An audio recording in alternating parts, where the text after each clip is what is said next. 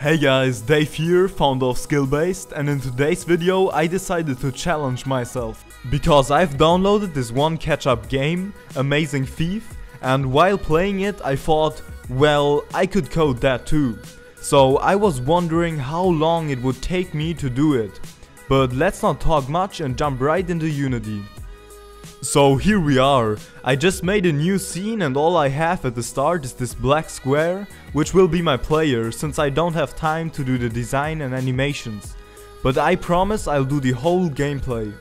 And yeah, there's also a blank white sprite to make the blocks. Let's start the timer in 3, 2, 1, go! First I'll do the obstacles where you have to jump through and also the start square and some stuff like adding box colliders, looking that everything is in the right layer and setting up the rigid body of the player.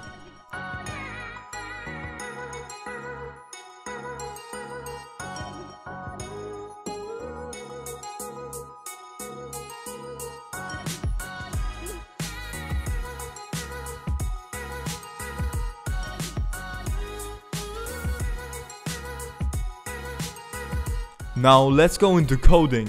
For the player I just need to do a simple jump function where I add force to his rigid body and also check if he is grounded and make him able to double jump.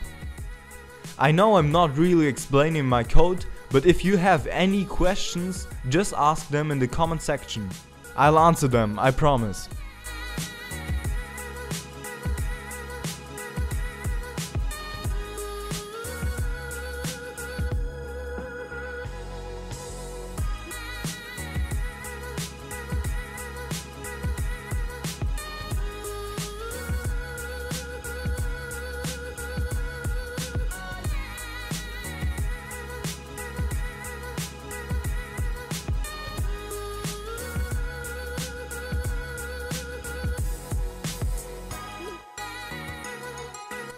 And this right here will be my def function. It basically says, if the player gets pushed away by a block, which means his x coordinates get changed, then he should rotate and fall down, like he does in the real game.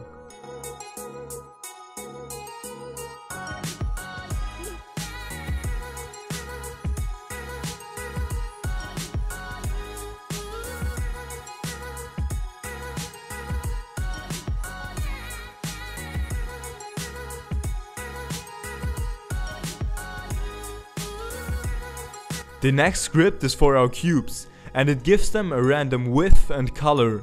It counts up if the player passes it, and of course moves the blocks to the left.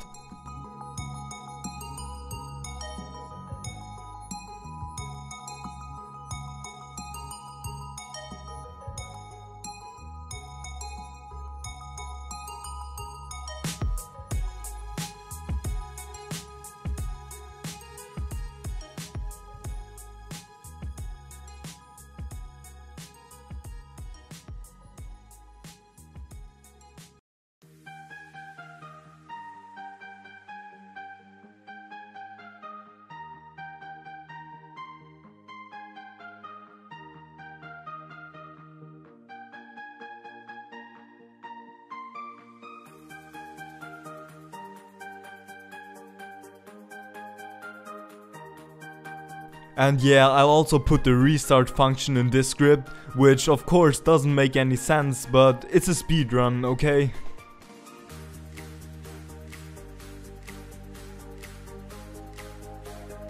The third script is enormous simple, because it basically just moves the start block to the left.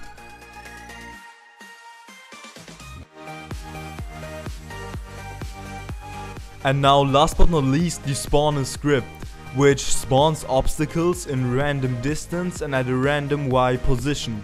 But I kept the position and distance to make sure every jump is possible.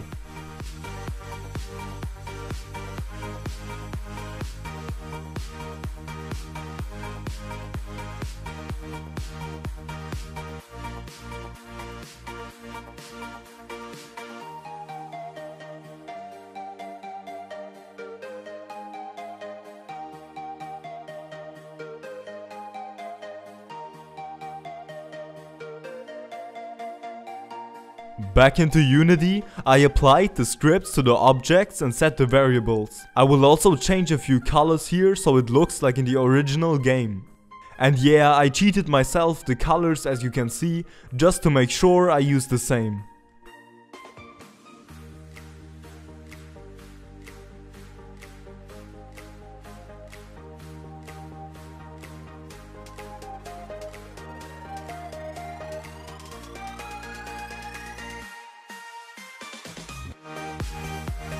And just like that, I recreated Amazing Thief by Ketchapp in about 15 minutes. Quite impressive if you think of how many downloads this game got. So here you can see the two games in comparison. They're pretty much the same except the player and also the spawner works a bit different, but I'm fine with it. Again, if you have any questions, just ask them in the comments and I'll answer you. And also, do you want to download the game? We could do like a battle who has the best high score or something like that. Just write in the comments if you want to. But now, thanks for watching, don't forget to like if you enjoyed the video, and if you're interested in the work of our company, make sure to subscribe and turn on the notification bell.